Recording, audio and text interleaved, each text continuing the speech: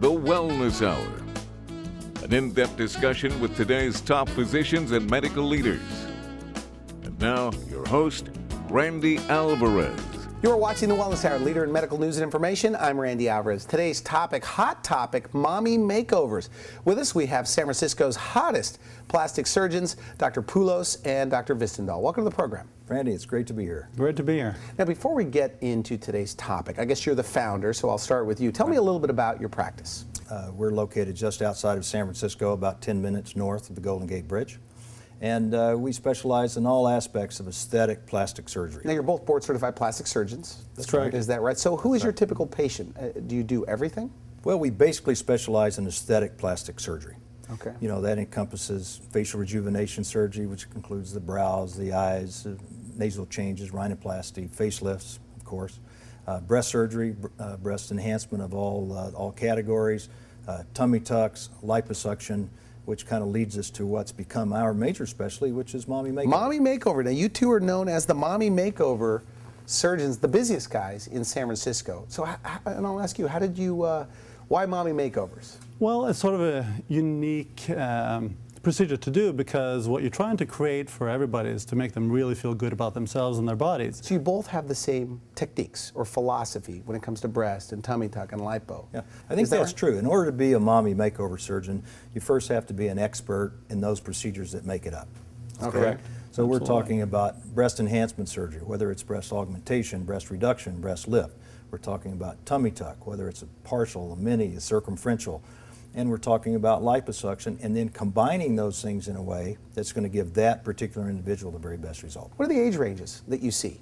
Well, we see women in their mid 20s, perhaps that have uh, finished their families early and are ready to, to get back into their bikini. We see women in their 50s who've long since finished their family but have never really had the time because of work or other constraints to be able to do something for themselves. So it's really a wide range of patients, but they share one thing in common. They want to feel better about themselves and better about their body. Did you come up with this, this Mommy Makeover concept, the name? I think the term has been floating out there, but it hasn't become a household name quite yet. But we see it more and more in the media.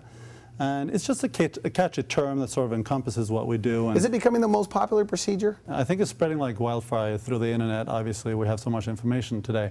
And ultimately, what people want is they want a good result. And they also want to do it relatively easy. They want to have one recovery if they can. Why split it up and have two recoveries, two payments, all that kind of stuff when they can just do it in one setting? So they want a safe procedure, they want a relatively quick procedure, and ultimately, they want a beautiful result. And that's what they can get with Mommy Makeover, and that's why it's becoming so popular. All right, now your background in training. Uh, we'll start with you. Tell me a little bit about. Uh, Well, board certified plastic surgeon. You know, I trained at the University of Texas in medical school and the University of California in surgery training. Um, been in practice for over 25 years in Northern California. And uh, as Mommy Makeover kind of evolved as a procedure in my practice, you know, individualizing the techniques that are involved in the surgery, I came to see that to do this well and to do it in the time constraints that we needed to do it and to get the best quality results, I really needed a partner. Okay. Needed someone that we could work together that could make this procedure safe and effective and by virtue of the time savings, also financially affordable for people to go in and have a total body sculpting, if you will. what about your background training? Well, I started out uh, at Dartmouth College on the East Coast, moved uh, sort of westward into uh, Case Western Reserve in Cleveland, and from there I moved uh, out to University of California, basically the same school that um, Stan went to, and did my general surgery, and then on to my uh, plastics fellowship there. And then uh, established my own pri- private practice and was in private practice for about seven, eight years until uh, Stan and I sort of You guys just clicked right off the bat. well, we clicked even before that. Oh, really? enough. When I actually got out of residency, we spoke, but it just didn't fit at the time. He'd just taken on an associate, and you know things just didn't quite click. But we were always talking about it. It was always there in the background, and finally we got the chance, and we So it's all for better ran- results. Ran with it. And Absolutely. Did you both always know you want to be a plastic surgeon? You know? I, you know, I I think in, in surgery, most of the time you decide if you're going to be an internist or a surgeon, right? Okay. And once you get into surgery, you say, where's my special niche in surgery? And both of us kind of arrived at the same place at plastic surgery because it was such a creative field, if you will.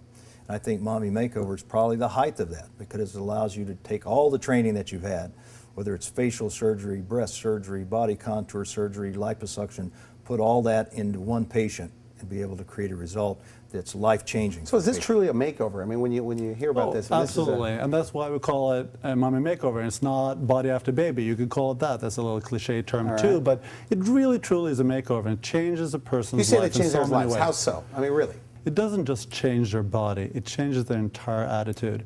And you'll see on some of the photos we're Like going to show so? you. I mean, specifically. there. Well, it's just that it's a confidence level that they have. I mean, and we've all been there. We've gone to cocktail parties in the summertime, and some women are more dressed and sort of hidden, and they've got that little slump, and they're not feeling comfortable about themselves, and they're sort of hiding behind the drink. And then you got some other women who are out there, and they're flashing their midriff, and you know they're really showing it off, and you can see the difference. So they get their body in back. their personality. You I mean, change like that? Absolutely, they get the body back, and maybe a little bit more. Maybe they get a little bit more breast enhancement because they like what they had before, but they want a little bit extra. You know, they had a nice flat stomach, but now they're a little bit flatter and a little bit tighter and had a little bit more definition. They love that. And once they've had it done, now they're motivated. Now they're going to the gym. Now they love what they're seeing. So defining it for me, a, a little bit of lipo, tummy tuck if, if necessary, breast enhancement in some way, lift or augmentation. Well, you customize it for each individual person.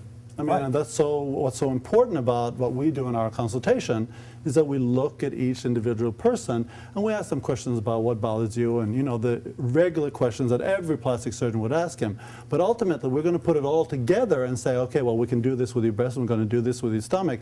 And when we show them that in the mirror, they go, oh my God, look at this! This is fantastic! This is great. So over the years, uh, you know, you've done a lot of surgery. I- Is this the happiest group of patients? People that go through this this transformation? I think absolutely, Randy. It, it really is because it makes a change in their life and a change in their lifestyle. It allows the lady who thought she was never going to wear a two-piece bathing suit again to get back to the beach. It allows a person who never wore a low-cut cocktail dress to be able to pick out that cute little black dress that she always wanted. Those are things that are very specific. It's how you feel about On the yourself. consults, I mean, do they tell you their, their motives? They say, hey, you know, I want to go to a reunion. I'm getting married. I mean, what do they tell you? Well, sometimes they do. I mean, some, some people have a birthday coming up, whether it's 35, 40, 25, you, you pick it. They have uh, reunions that they want to look better at. And now in this day and age, you know, a lot of people want to go back into the workforce. They're competing with younger people. Interesting. That's going to be important for them to look better, you, You, say know. in a recession, people people are investing in themselves. Absolutely. Expand on Absolutely. Yeah. Well, I think in a job, you know, you're, you're going to hire someone to work in your uh, your particular line of business. You want that person to, to make a statement. You want them to, to, to act like they feel. that. Well, being only to be fit is actually a healthy look. It is a healthy look, and it gives the you- person You always want to hire the person that looks the most energetic. I'll tell you I what, guess. if you feel confident about yourself and your person because you're looking good, you're going to go to that interview and you're going to have that confidence, and that that employer is going to notice that. Whereas if you're uncomfortable and you're trying to hide some something, Interesting, then good you're going to notice that difference. So having that personality change because of the appearance change becomes so important. Big boost in self-esteem. Big boost. They get it back. Okay, so you have some photos. Uh, Yeah. Start wherever you'd like. Uh, we'll start kind of breaking it down into the categories of the surgery because some people are candidate for one of the procedures, some are candidate for all together, which we'll get into in a minute. But here's a lady that has the most typical thing that we see in the breasts after childbearing, and that's what we call the deflation effect. Simply have had, you know, expansion of the breast with the milk coming in, the deflation of the breast after the pregnancy, changes that occur from nursing, we just lose the volume. So could they work out to, to bring that back? I mean, no matter what, is it just going to get worse? Once that volume is gone, it's gone. All right. The shape of the breast is not going to change. That's going to affect the, not only the bra size, but the type of clothing that that person can wear. And she says, you know, I've been my whole life, prior to children, a B cup, a C cup, whatever her size was, and suddenly she feels like she's not herself anymore. So this is an interesting thing about Mommy Makeover, is that our patients are coming in not so much to change something completely about themselves, Okay. but to be back to where they were. Wow. So it's almost a form of reconstructive surgery at the same time. And so many times, if I can interject, is that they come in and what they're saying is that I've been working out so hard, I'm doing all the right things, I'm eating well, and I'm doing those things, and nothing seems to help. This is still attached. My breast is still sort of hanging, and they're just not the, they don't have the perkiness they once used to have. And I'm actually not feeling that sexy about my body anymore, even though I'm really fit. I probably haven't been as fit in my life as I am today. Right. And then Interesting. it ultimately comes down to what we can help them with because they've done everything. And now in the after of this same patient, Okay. we'll see that this patient now has the breast size that she had prior to her pregnancy. In fact, she's told me she was even wearing some of her old clothes from eight years ago that she still had. All right. So that's a great beneficial effect. So the next case we're going to show is a common thing that we see after nursing. Uh, where one breast may be a different size or Wow, is that shape common? than the other. It's a very common thing because many of the ladies will come and tell you, you know, my baby's only nursed on my right breast, and suddenly the right breast is much lower, much larger, much different than the other side. So not only have they lost shape, but they've lost symmetry because most of us are used to looking at our body in a certain way. Is that a tricky one to fix? In some cases, it is Okay. definitely. But here's an after picture of this same patient. Perfectly lined up, looks Not only greater size, it's not just a larger breast, but it's it's uh, it's a more symmetrical breast. It's more attractive, and it doesn't look like an older person. So she gets that feeling again that she's youthful. You know, All right. she may only be 10 years older than she was at that time. She shouldn't look like she's 30 years older. Okay. As a matter of fact, it brings up an in- interesting point that some women who are young and they come in for breast augmentation, they always ask about the issue about breastfeeding after they've had the breast they breastfeed? augmentation. Absolutely. There's no interruption when it comes to the breast Really? ductules and anything when you have it. Because ultimately, the implant is just changing the mound that the breast is sitting on. It doesn't change the, the breast tissue itself. Okay. So here's a slightly different case. Person who has the breast volume didn't even lose their breast volume after having children, but their breasts have become much more mature. Just sagging. Fast, right? Okay. So a sagging breast, basically. It's what we call ptosis in medicine. So these patients are a candidate for what we call breast uplift or mastopexy. Very nice. Where the breast is reshaped. And you'll notice in this So the picture. incisions are, are uh, I mean, we can't show these on TV, Right. but these are very small incisions. They're I mean, small You really can't see these. Yeah, these these incisions we can't show you, but incisions go through a healing course. At first, they're going to be red and they're going to be noticeable, and over a period of several months, that color is going to But I've fade been told to minimal vision. You know, the, the problem with breast lifts is the ugly scars. What is your response to that? Well, I think I think you're right, and that is a big concern. But I think ultimately, if you go to the right surgeon, they're going to give you the right results. And, and usually, we don't have a lot of problems with. Do they complain about it? I mean, in this particular case, this this pa- patient was absolutely ecstatic.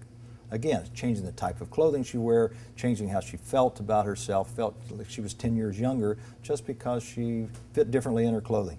And remember that initial redness you tend to see on the pictures on the internet, that's because the pictures are relatively young. They're probably about three months old after surgery. That all fades away, and those scars really becomes a little white line. And, and usually they're is so that the happy biggest hesitation, though, with breast lifting, that women Yeah. are just worried about that? No, not really. I don't Okay. find that. I mean, but they're concerned about it during the consultation, and I think it's, it's good to reassure them that that's not going to be an issue. And Okay. they're so delighted about the shape and how everything looks that it really becomes a moot point down the line. All right, all right. Okay, I keep interrupting. All right. You were going to show me That's some right. more? Yeah. Next case, we're, we're dealing with a, a, uh lady here who has the primary problem of stretching of her muscles after babies. You know, every pregnancy Wow. gets some stretching of those rectus, those central abdominal muscles, and those muscles are supposed to act like a girdle. When that girdle gets overstretched, it's never going back. You know, when the husband comes in and says, Doc, can't you just go to the gym and do more sit ups? Not when you have that degree of stretching. So that even someone such as this patient who doesn't have a lot of extra uh, she's fairly thin, fat, but she just has thin, this, uh, but she has this anterior or forward protrusion of her intra-abdominal contents because her muscle girdle's not working. Right. So the primary job for us in a patient like this, as we see in this same patient from the side, Oh, is goodness. to reconstruct that girdle. Now it holds the muscles back where they're supposed to be. And if you think this doesn't look different in a Yeah. tight-fitting uh, evening dress, it certainly does. Yeah. Right? So again, major change. So then we see the type of patient who their major problem is extra skin. This patient's very thin. Wow. Trade-off for So is that an easy fix for you? I mean, when you see an abdomen like that, are you on the consult and you say, boy, this would be a great result? relatively so. But Absolutely. the change to the patient is great. You know, this procedure, when done on its own, could be hmm. an, an hour and a half case, and it's going to be a permanent change for that person. Now she looks like a fitness looks. person, by the way, in that after. Absolutely. And what's so nice about that is they come in with the body underneath the skin envelope, which is getting all wrinkled, and all you have to do is tweak that, and you know you're going to get a beautiful result. We love seeing women like this coming in. And to answer your question, it's a lot more common than you think because the people who look like that, they're hiding. They're the ones So are see them. wearing the one pieces. So they're not out there, I wearing just don't see they're them. there. We're- Interesting. We're not seeing them. We see them because they come to us and they say, help. What can I do with this? I'm working out. I've got a great body underneath this saggy skin.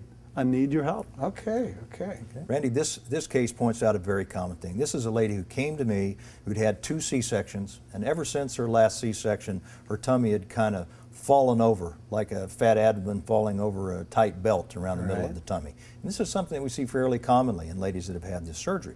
So this is something that you see here can be completely corrected, Nice. the muscles contoured, the skin taken away, and absolutely the Now, you say this teenage abdomen. motivates them, by the way. They, they, they get in better shape. They eat better. Right. It's like leverage. Some, it's a great thing because sometimes we get the credit for a change that the patient makes because now they feel like going to the gym. They feel like working out. Is and they right? add that extra benefit to it. So sometimes patients come in and say, Doc, do I have to be at my perfect weight before I consider doing this surgery? yeah, that's a good question. Right? It, you, Mm-hmm. Obviously, you don't want to be, you know, changing in a major flux in a weight, but you know, everybody by the time they come to us has a problem in getting to where they want to be. So they've already tried diet and They've tried, exercise. they've tried the diets, they've tried the exercise, and hopefully they're still exercising because it's healthy in general.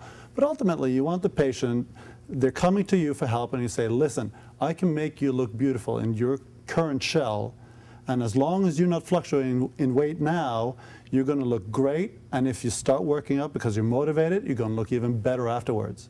So don't think that you have to go and do all this dieting before the surgery because it's unrealistic. You've already tried it. It didn't work.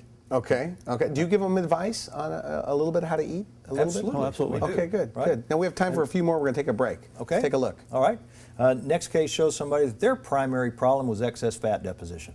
Right. I just never was able to get off that extra 20 pounds. So those are big love handles or- there. Or 10 pounds that came with each of three kids and couldn't get rid of it. Boy. So now this patient needed only liposuction to make a major change in the figure. So we can actually create a waistline in someone that doesn't have it, actually create a buttock contour to minimize the protrusion of the saddlebag. So that's one aspect of this operation that falls with almost every mommy makeover surgery has liposuction in some area to help with the sculpting, Okay. to create the waistline, to create the curvatures. And you know, we say this all the time, and I think, you know, to put it all together, we sort of showed you the individual cases. Now bring it all together in a mummy makeover, and I'm going to show you some pictures here.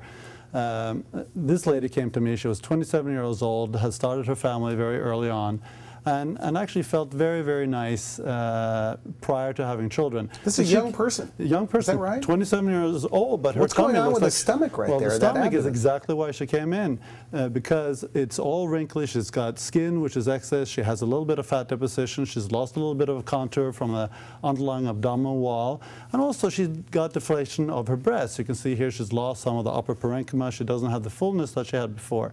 So she came in and said, "Listen, I would just love to look younger and perkier. I feel great. My kids are great. I'm sort of out of the woods. I'm not having any more children. I just want to feel sexy again, Dr. Hvistendahl. That's basically what she said to me. And I said, So we can do? do that. So basically we said, well, let's do breast enhancement. I mean, what are you thinking? She said, well, I don't want to be too big. So let's make you natural, but we want you to be perky. You're young. You, you belong in perky breasts, so to speak. Okay. And then we also need to flatten up that stomach. And I would love to see you in a bikini. And she said, I'm not going to wear a bikini. And I said, yes, you will after this procedure. And as you can see, you know, even the side view, you can see she has a little pooch on the lower abdomen here. You know, and but ultimately the package is still good, but it's just not showing very well. So after surgery, now you Wow. can see that she's got a beautiful result in her breasts, very natural, they're perky, and just the way that she wanted, and her abdomen is nice and flat. And here's one of the things in our, our pet peeves in our surgery. You want to make that incision low, but you also have to ask them The tummy tuck The tummy we're tuck. talking about? Keep those incisions low to because if low. you're going to Okay. wear a bikini, those bikini bottoms are now very, very low. If you're going to wear low-rise jeans, you got to have that incision low. And it's really nice. Even when you're in a little negligee at home, you know, you want to have a special time with your husband, making love, you want to feel sexy. You want to hide that little scar with a little slinky thing, it's got to be low. Now, on the other hand, if you're never going to be in a one uh, or a, um, a two-piece or a bikini, and you always are going to be in a one-piece, then you probably need to make that scar just a little higher on the flank sides or over the hips, because they always ride a little bit higher. So it's really important during your consult to Okay. really get it down what they're going to wear down the line. But ultimately, the incision has to be low, particularly in the midline. For tummy tuck. Yeah, for the tummy tuck. And number two is that that belly button needs to look like a belly button. And we've all seen out there that you can have those big, round, oval incisions around that belly button. That doesn't look nice So at all. that's in the hands of the surgeon. It's in the hands of the surgeon, and that's the focal point, and that's the tell tell all. Hey, I've had a tummy tuck. You make that belly button beautiful. Nobody knows. Well, now she looks like a million bucks. She does That's look like a definitely million a, bucks. a, a like, two-piece. I love this oblique view because it really shows the definition of the abdomen, shows the belly button, which is really nice and normal, and she's got a nice size, harmonious size to her breast that go with the rest of her body. She's ecstatic. She loves it. Now we're going to take a quick break. We come back. I, I know you have a bunch of these uh, photos. In fact, I- it looks like you've arranged them the most dramatic are coming up. So, uh, quick break. You're watching the Wellness Hour, leader in medical news and information. I'm Randy Alvarez. We're discussing mommy makeovers with the two hottest plastic surgeons in San Francisco. We'll be right back. Tried all sorts of cover ups for bad breath? Try the science of Breathorex. Only Breathorex has Zytex. It attacks the cause of bad breath, keeps working for hours. It's clinically proven for real fresh breath. Get non-prescription Breath RX from your dental hygienist and now at fine stores everywhere. Designs for Health is the nutritional supplement brand of choice, exclusively recommended by healthcare professionals. As a physician, I insist on the science first approach of Designs for Health. They have synergistic formulations with optimum quantities of therapeutic nutrients. Designs for Health, the leader in professional brand nutritional supplements.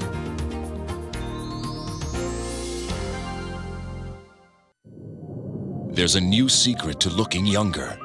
An advancement so profound, it took a team of scientists years to create.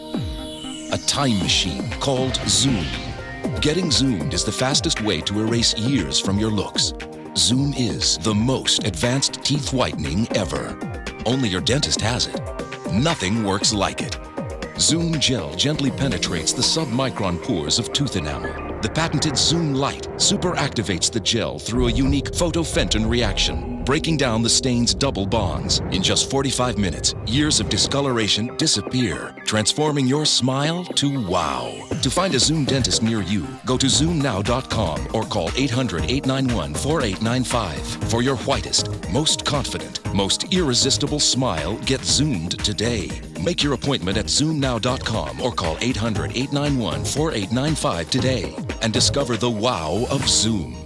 You're watching the Wellness Hour, leader in medical news and information. I'm Randy Alvarez. Today's topic, mommy makeovers. With us, we have experts on the topic. In fact, San Francisco's busiest surgeons. We're here with uh, Dr. Poulos and Dr. Hvistendahl. Okay, so more photos. Mommy makeover. Interesting. Absolutely.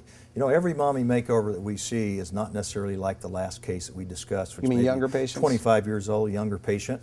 Here's a lady who came to me actually for filler injections, believe it or not. Okay. And while she was there, she said, Doc, is there anything you could do about stretch marks? You know, I had my kids uh, 20 years ago and my abdomen has never come back. She's got a lot of stretch marks between the belly button and the pubic area. She's got laxity of skin. She's got excess fat not only in the abdomen but in the hips and in the thighs. The breasts have become somewhat droopy over time. And to really get a good result, to make a change for this lady, we really needed to address all of those things. Mommy makeover, even though this is an So tummy tuck, liposuction, and breast lift. Correct. Okay. In one operation. And this is about a 50-year-old.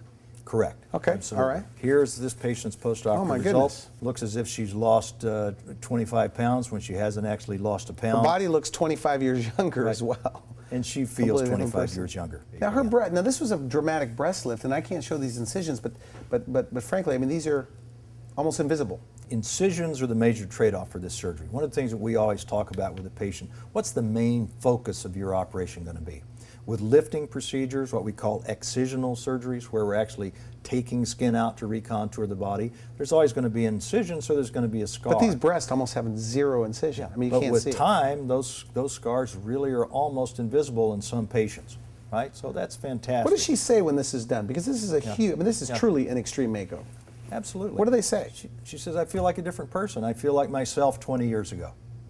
Is and, that and that's a very gratifying thing. That's why it's so much fun for us and what we enjoy. Which brings us to the next case, which is very similar. This lady came to me and, and she said, Listen, I, I'm not afraid of who I am, but I'm not feeling very good about myself when I'm with my husband.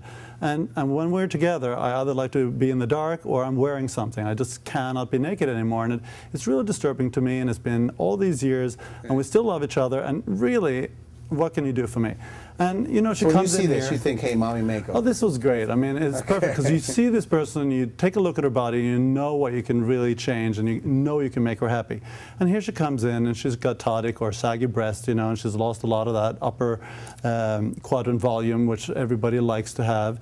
Number two is, you know, she's lost a lot of that texture to her skin. And look at the side view. I mean, and look down at the pubis area, down by, uh, down by the thighs. So it's a big I mean, hang- It's a big hangover, and you can see that big crease in the thigh area. That doesn't look young or healthy. And you can see that on younger women. They don't have a crease here at all. And that's really what you want to try to create. You want to tuck that all in. So if you now look at the post-op pictures, which is always fun to show, Oh my obviously goodness. she's got these beautiful perky breasts. They're natural. They've been lifted. The incisions heal in beautifully. This is about three months out. They're a little bit red, but I tell you, these are going to fade out beautifully. Look at the crease down here in her thigh. It's gone. It's gone. So what and do you do? You cut it out? I mean, well, in a way? absolutely. That's what you do. You cut it out. And what's so important is that the way that you create your incision and, and really the preoperative markings are so important because you have to have a little upward traction when you make those marks so you can get that nice result down here in the groin area. Okay, okay. It's a You- little you trick know, of the trade. Our show airs nationwide in Canada, and I meet a lot of plastic surgeons. And I got to tell you, you know, when I heard, hey, you got the mommy makeover guys coming in, these are the best of the best. You know, I'm always skeptical, but but frankly, and I'm not trying to endorse you guys, but truly, this is the best I've seen when it comes to.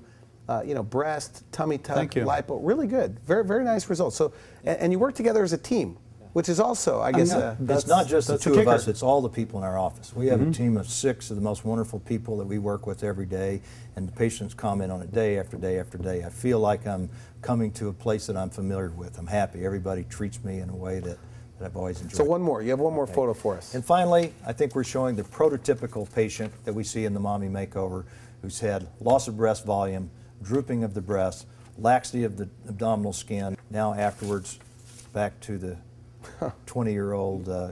She's going to be wearing Yeah. those low-rise jeans now and showing a little bit of that lower torso just because she has this result. and the confidence goes up. She looks good. She feels like a million bucks. Final message, somebody, and we are out of time, but final message, somebody that they don't like their body after pregnancy. What do you say to them? What's their first step? Their first step is to come in and get the information and select a surgeon that this is what they do, that that's what they focus on, and it's going to get them the quality of the result that they want to get that's going to make the change in their life that they're looking for. Because in the end, it's all about results. It's hope. I tell you, I mean, so many women out there are feeling that there's nothing they can do. Uh, or they're thinking that they need three, four procedures. Well, now you have a chance where you can do one procedure and get it all done and feel great and have a fantastic result. I mean, it's so exciting for us. It should be exciting for them because And it's out there. downtime, I mean, uh, in, Normally- in the perfect scenario, somebody comes in for tummy tuck, breast, lipo. Normally, we're looking at two week downtime. Okay. Okay. Okay. Good. All right. I want to thank both of you for coming in. Very Thank you interesting. for All of these photos are on your uh, website. On our website, www.psspecialist.com. All right. Yeah, Yeah, I thank you so much of for having us. That's great. You've been watching the Wellness Hour, leader in medical news and information. I'm Randy Alvarez. If you would like to see this again online or tell a friend about it, you can visit our website at wellnesshour.com and just punch in mommy makeover or the doctor's names. For now, I wish you good health. Thanks for watching The Wellness Hour, the leader in medical news with your host, Randy Alvarez, the authority on health issues.